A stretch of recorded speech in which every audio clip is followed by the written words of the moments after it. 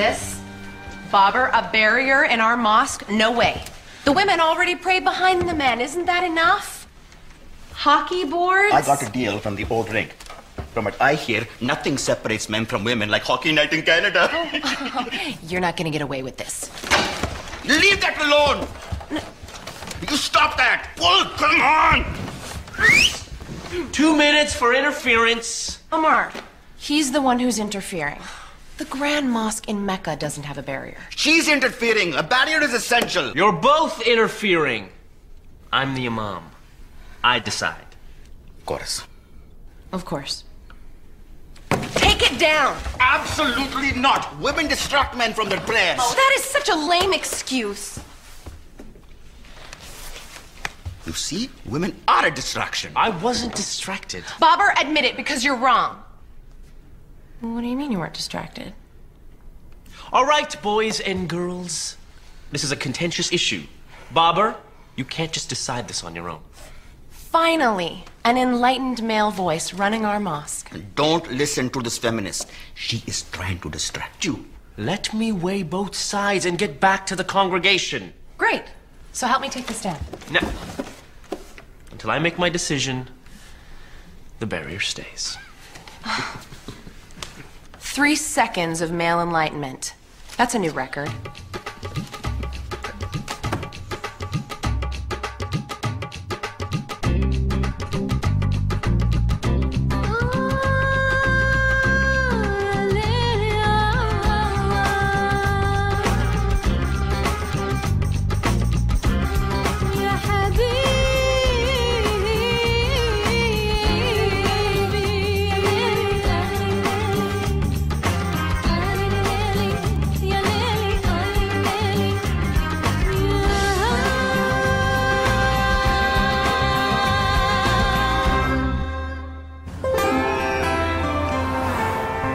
Exact change. I see.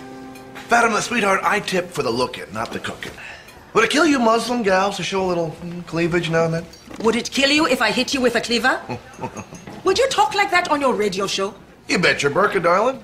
Controversy pays. Well, ladies, the men are at it again. Baber is putting up a barrier in the mosque. That man seriously needs a sex life. The barrier gives women privacy too. So put the men behind the barrier. Please, you're talking like a fanatic. Oh, well, finally, I fit in. This is not the place to discuss this. So I, uh, I was right, huh? Islam is a sexist religion. Only when it's run by men. Listen, why don't you come on the show this afternoon and talk it up? Always happy to champion a good-looking underdog. She can't. It is forbidden for women, for women to speak on the radio. It is? It's in the Quran. Oh, right. It is. Chapter 115. Verse 42. It's. Well, there. Huh. Figures. Well, you know where to find me. Radio 660, The Freeze. Uh-huh. Ow! What are you thinking? Dad, I need to talk to you about something important. Real important or teenage important? Our school is having a. No dances. I got my degree without one cent to shake my boogie. It's booty. And it's not a dance. It's a 10K run. They're raising money for the new hockey rink. Raising money for charity? That's very Islamic, right? I'll be with all my friends, who are all girls. Surrounded by boys. What will you be wearing to this social event? I'll wear something appropriate. Please, can I go? Please, please? Thank you, thank you. I love you. I know, I know. Yasir's office, now. Yasir, you are a contractor. We need your help installing a barrier. No vapor barrier? The whole of all Get your head out of your business for two minutes and think like a Muslim. A barrier for the prayer hall. Guys, the men and women have been praying together in my basement for years. Now that you've got us a proper mosque, in a church, mind you, we need to set a proper example. Go talk to Amaar. Mm, mm. Leave me out of this. I can't imagine Amaar wants a barrier, or the majority of the women for that matter. Well, the majority of the men do want a barrier, and without our substantial financial contributions, the mosque will close. And so does your free office space. Look at that. I have a hole in my schedule right now. Allah be praised. The Lord of all mankind. For centuries, man oh, has. Friday. Try saying people instead of man in your sermon. Less controversial. So, you've seen the barrier. Amaar, make this easy on yourself. Keep the barrier, or Baba will stage a mutiny. It has no theological validity. Forget theology. It's a scientific fact that men get distracted with women around. But the women pray behind the men. Even when a woman is behind a man, he knows she's there. Hmm.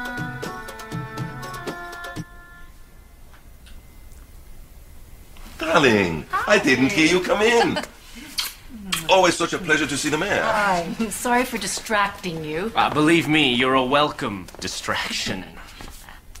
Amaar, I'd love to get your congregation's support for the new hockey rink. It's a wonderful idea. Well, the mayor would like to speak after prayers on Friday. You're always welcome. Friday? This Friday? Oh, the short notice might put us up against a wall. Do you follow Amaar? I don't want the mayor to be bored. Is there a problem, Yasir? No problem, ladies. We'll see you on Friday. Trust me, Brandy, it's like war. You start off with shock and awe, and then you work your way up to a reasonable compromise. I know what I'm doing. So, Stuff for Astaghfirullah, I can see your belly button. You look like a Protestant. don't you mean prostitute? No, I meant Protestant. Have your bosoms grown? Now you look like a rapper. I'm totally covered. It is modestly modest.